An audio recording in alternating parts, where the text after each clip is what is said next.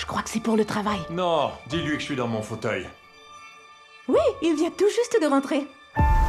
Je ne m'attendais pas à ça. J'ai du mal à croire que je suis assis à table avec des espions. je ne suis qu'un homme d'affaires. Exactement.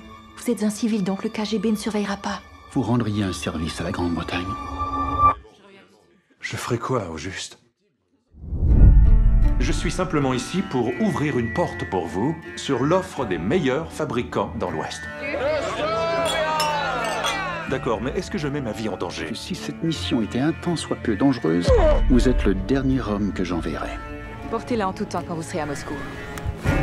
Quoi Ça envoie des fléchettes empoisonnées? Chaque personne que vous rencontrez, présumez que c'est un agent du KGB. Chaque citoyen russe est un œil de l'État. Vous ne serez qu'un messager. Un messager pour des secrets russes Et à partir de maintenant, vous devrez vendre une seule chose.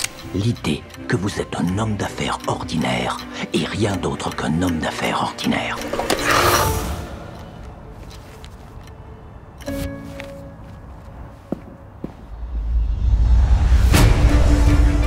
Les armes de destruction doivent être abolies avant qu'elles ne nous abolissent. Je te demande d'arrêter d'aller à Moscou. Tu peux pas faire ça pour ta femme. Je voulais pas que tu sois mêlé à ça.